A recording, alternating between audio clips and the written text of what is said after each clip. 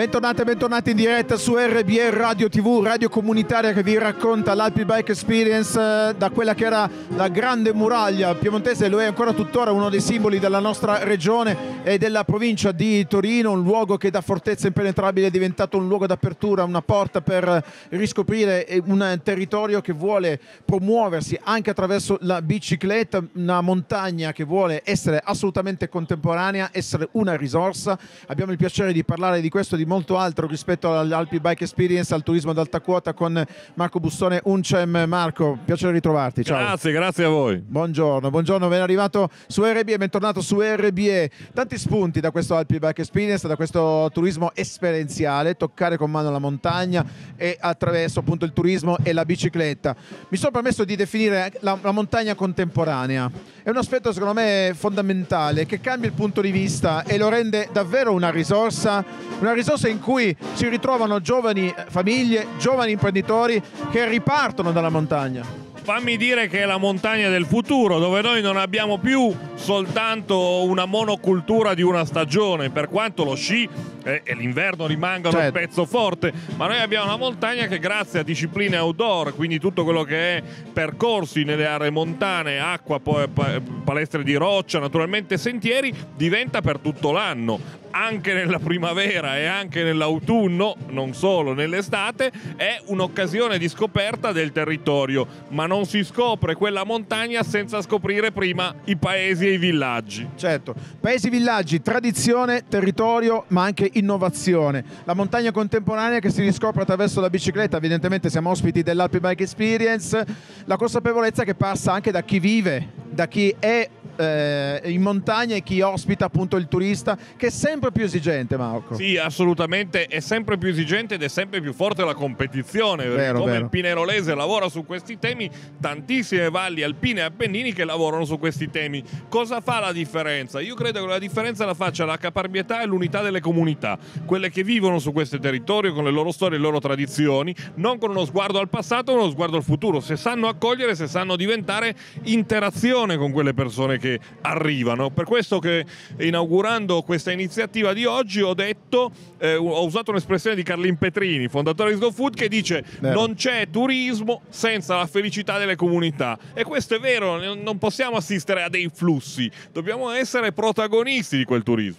C'è una domanda di questo turismo, di questo tipo di turismo esperienziale, consapevole, lento, un turismo che vuole vivere queste esperienze, le cerca su internet, la concorrenza giustamente Marco lo, lo, lo dicevi poco fa, è tanta la concorrenza e questo deve essere uno stimolo per questi territori che vogliono riscoprirsi anche attraverso queste possibilità. Allora, intanto qui c'è una sinergia fra valli, Pellice, eh, naturalmente Chisone, Germanasca, con la eh, parte alta della Val di Susa, con Pinerolo. E questa è una sinergia importante con i comuni della pianura pinerolese, naturalmente il capoluogo. E poi dobbiamo tenere presente che qui c'è un consorzio di operatori turistici Vero. che utilizza e valorizza i posti letto, perché noi eh, parliamo di turismo, ma dobbiamo capirci, il turismo sono le notti dormite, sono le persone che arrivano e si fermano più giorni. Investono risorse, spendono qui delle risorse, fanno delle esperienze, le raccontano quando tornano a casa. Esatto, esatto. Su questo dobbiamo lavorare moltissimo, io credo che, eh, guardo a Mauro Vignola, tanti sindaci, tanti protagonisti di questa avventura, c'è la caparbietà e la capacità giusta.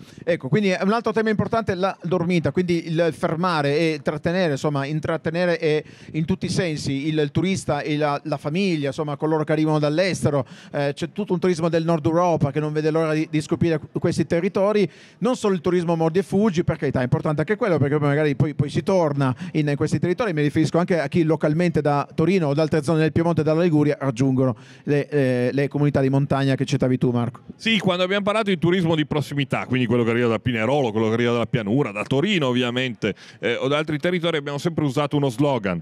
Compra in valle la montagna vivrà, chi arriva su questi territori deve spendere delle risorse su questi certo, territori, non certo. è una spesa per dire facciamo girare l'economia, non è una cosa eh, banale, è un atto sociale, è un atto che fa vivere i territori con quel gesto per cui non ci si porta il panino da casa, ma si investe su questo territorio. Questo è il turismo anche di prossimità che funziona. Non passare oltre per andare e salire, e ci crediamo. Il, forte di Fenestrelle è un passaggio, ma a, qui si può investire. Qui si investe e so che il comune, Michele e tutti i sindaci certo. lo stanno già facendo.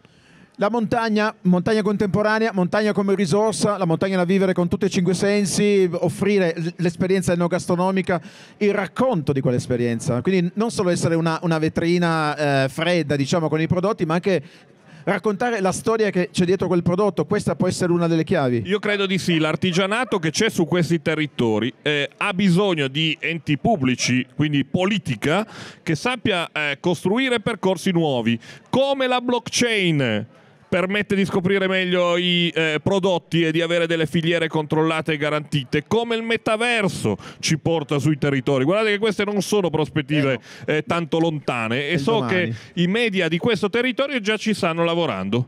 Quindi questo vuol dire guardare al futuro. Quanto è importante avere una visione, Marco? Questo è fondamentale. Qui eh, eh, stiamo agendo con diverse strategie che si intersecano e che eh, si eh, stratificano positivamente. La strategia delle Green Communities porta qui, su questi territori, 4 milioni e mezzo di euro di una strategia nazionale del Piano Nazionale di Ripresa e Resilienza e questa strategia sul, eh, sul bike, sulle due ruote, non a motore naturalmente, certo. è una strategia a motore con l'assistita, non, eh, non i motorini. I bike, non i motorini ma questa è una strategia importante di sostenibilità. Sostenibilità vuol dire garantire il futuro.